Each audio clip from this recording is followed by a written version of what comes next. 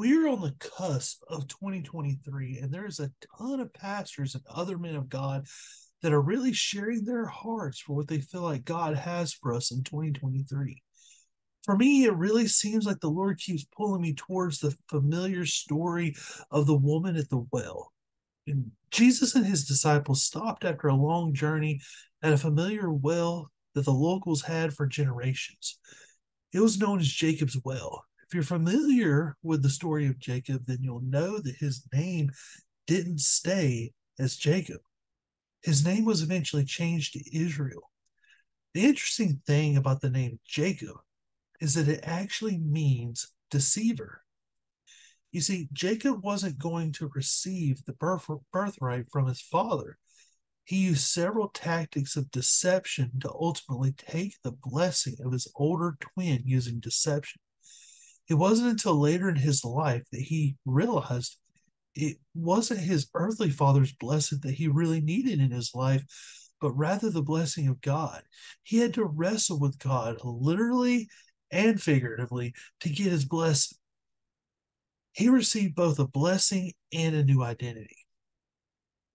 Now, snapping forward to the woman at the well, we notice that this well isn't called Israel's well, it's called Jacob's well.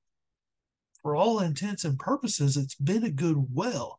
It sustained many generations of people, and it sustained likely thousands upon thousands of livestock. However, there was a problem. They were tied to that well that had been created by another man, really for another man. While it sustained them, it was always temporary. What is this well in our own lives? Is it our church, our pastor, perhaps our denomination? Is it following after what has been taught to you through your family from generation to generation? whatever it is, it's not that it's all bad sustenance, but many times we deceive ourselves thinking that this is where our blessing, promise, and calling is. However, in reality, Jesus is telling the woman that he has something that will sustain her eternally, something that is specifically tailored for her, something personal, something that will not only bless her, but bless others while they're on their own journey. Jesus calls it the living water. You know, it's hard to tell in the writing if she requested access to this out of spite or as a snide remark, but regardless, she did ask how she can get this water. And this is where so many people stop because this is where Jesus says in our own lives, okay, let's deal with the elephant in the room. He could have come off in an accusative manner. And uh, quite honestly, he had every right to. He could have called her an adulterer and placed judgment on her, but he, that's not what he did. He didn't do that. His interest was purely addressing what was blocking her from receiving the living water from within herself. This is a lesson not just for those who are receiving of God, but those who administer the word of God to others as well, because this is because God is not passing judgment on us. He's not picking on us. He's merely trying to remove the things that are blocking the flow of living water in our own lives. It's the difference between approaching someone with an accusation versus approaching someone in love.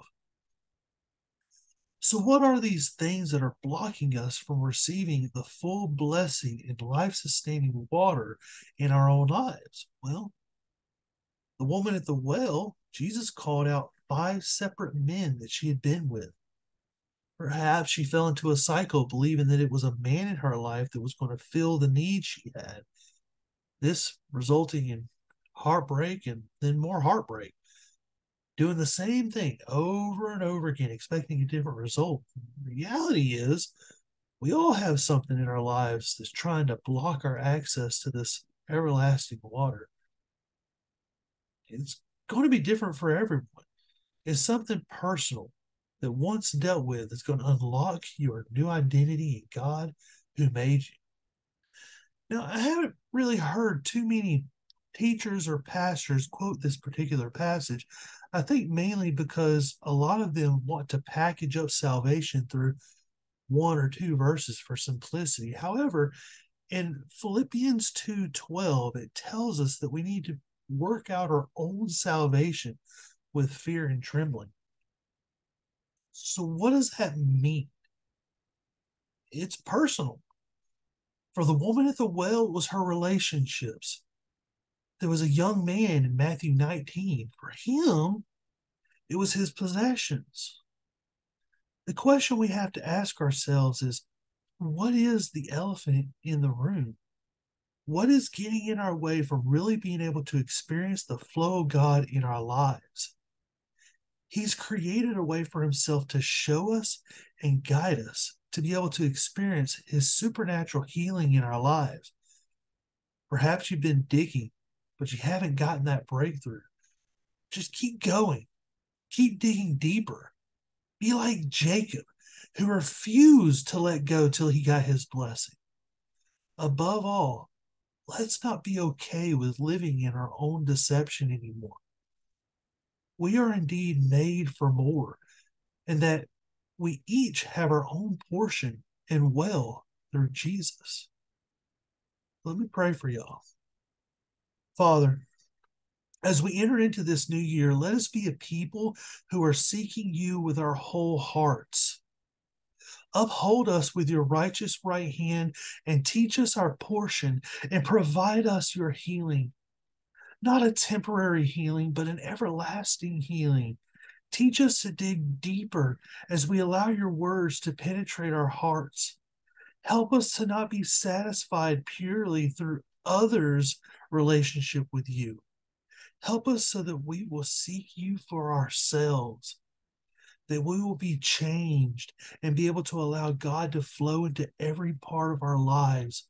We want to worship you in both spirit and truth so that ultimately that life-saving power can be shown to others in love. All these things in the name of Jesus I pray. Amen.